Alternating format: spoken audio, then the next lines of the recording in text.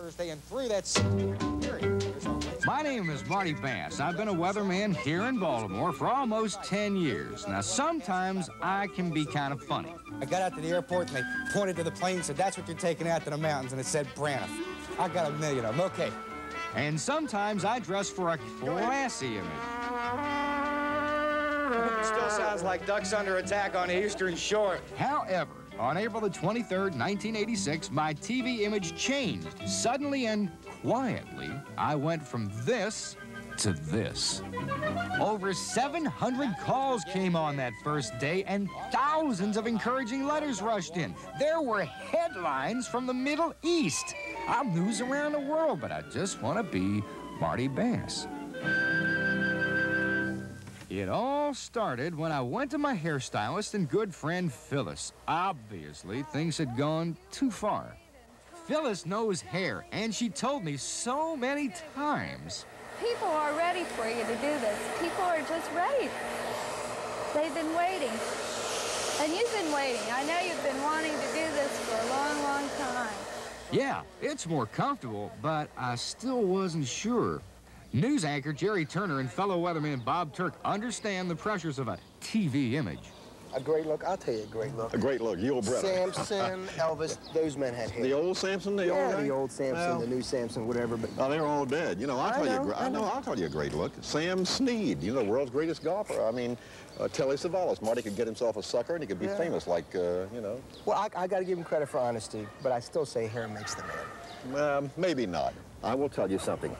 I have been in this business 117 years, and That's I will true. tell you, honesty is the best policy. Well, I agree. Honesty is the best policy, but I think after 10 years, it may just be too much of a shock for our viewers. I don't think so. Marty, get rid of the hair. Get rid of the hair. Get rid of the hair. Get rid of the hair.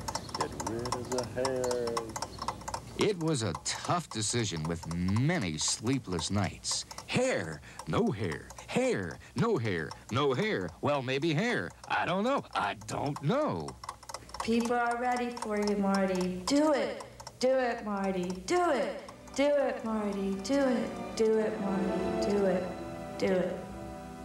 Martin, keep your hairpiece. It keeps your head warm.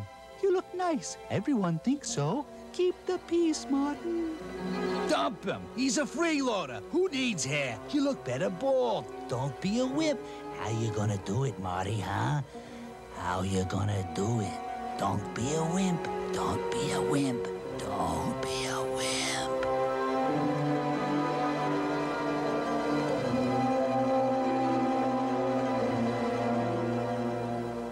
How am I gonna do it? How am I gonna do it? No, no. I tried to throw it away. I threw it in the trash can, but it kept jumping out of the trash can. In, out, in, out.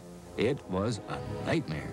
And fire couldn't get near it. It kept blowing out the matches. No matter what, I couldn't set fire to my hair. Weird dream, huh? Buddy, you are gonna. Awake the next day, I knew what to do. I couldn't end a 10-year relationship with Fido, my hairpiece, suddenly on unemployment. For Fido, I thought retirement. I thought R&R. I thought Fort Lauderdale, please. Piedmont Flight 397 service to Fort Lauderdale, making a special boarding at this time for passenger F. Bass. Adios. Bye-bye, Marty. See you spring break. Hi, babe.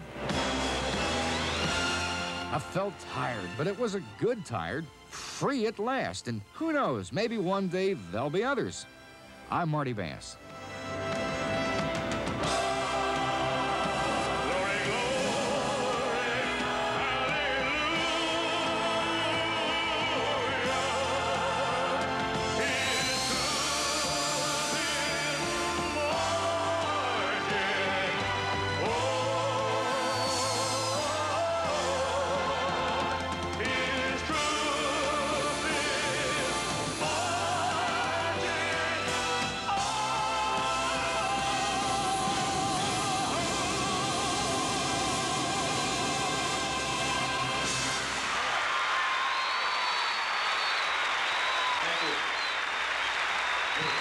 Thank you.